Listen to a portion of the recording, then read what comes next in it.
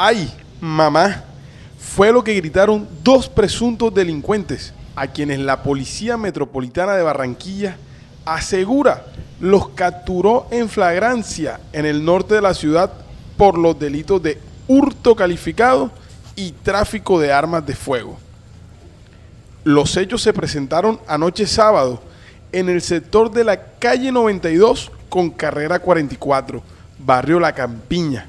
Según la institución, Ricardo Cordero González y Andrés García Pérez, de 26 y 27 años respectivamente, asaltaron a una pareja que caminaba en la zona.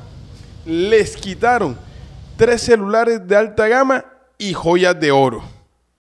Cuando los sujetos emprendieron la huida, fueron sorprendidos por una patrulla policial que venía realizando labores de vigilancia.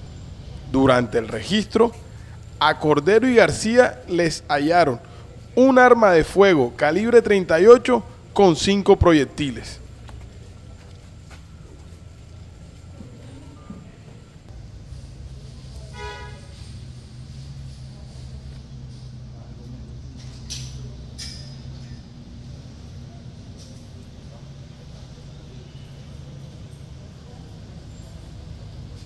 En el marco de la celebración del Día de la Madre, la Policía Metropolitana de Barranquilla ha implementado diferentes planes orientados a la prevención del delito y de los comportamientos contrarios a la convivencia. Es debido a esto que la noche de hoy sábado, en el norte de Barranquilla, el Servicio de Vigilancia logra la captura de dos particulares, la incautación de un arma de fuego, la incautación de la motocicleta en la cual se movilizaban y la recuperación de elementos de valor, joyas, que acaban de ser hurtadas a dos personas en el norte de la ciudad. Estos elementos ya fueron entregados a sus propietarios y de esta manera se restablece la tranquilidad y la seguridad para ellos.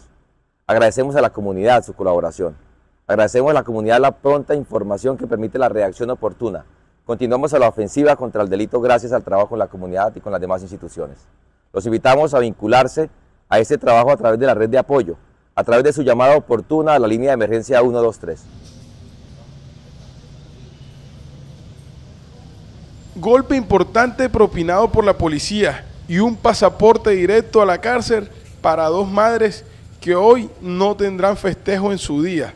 Tendrán que pasar del otro lado de los barrotes a ver cómo resuelven el futuro de sus hijos.